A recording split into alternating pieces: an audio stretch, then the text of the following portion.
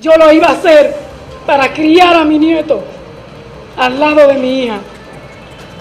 Milo me pide perdón, pero no es un perdón verdadero, no es un perdón donde tú tienes la cara para mirármela y decirme que estás arrepentido, porque tú no estás arrepentido.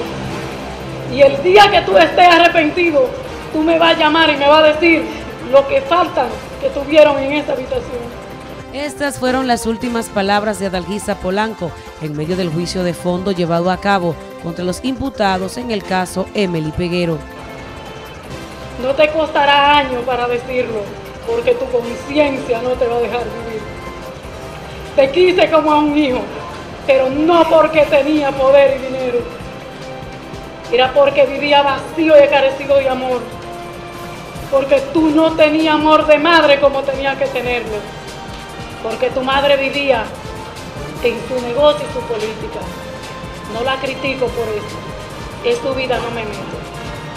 En medio del llanto y una sala de audiencia conmovida ante el visible dolor de la señora Dalquiza, en reiteradas ocasiones pedía a los imputados mirarle la cara.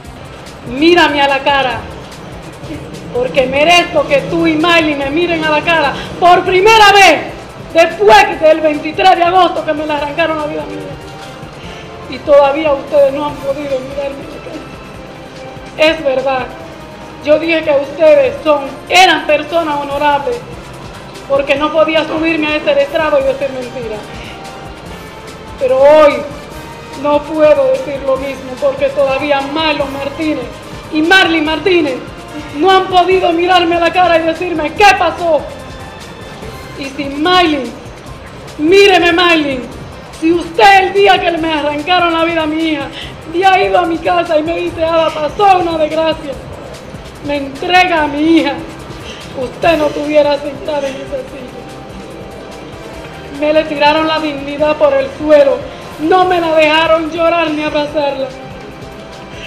Y yo por eso clamo justicia y que la muerte de mi hijo no, no quede impune. Para NTN, su noticiero regional, Giovanni Paulino.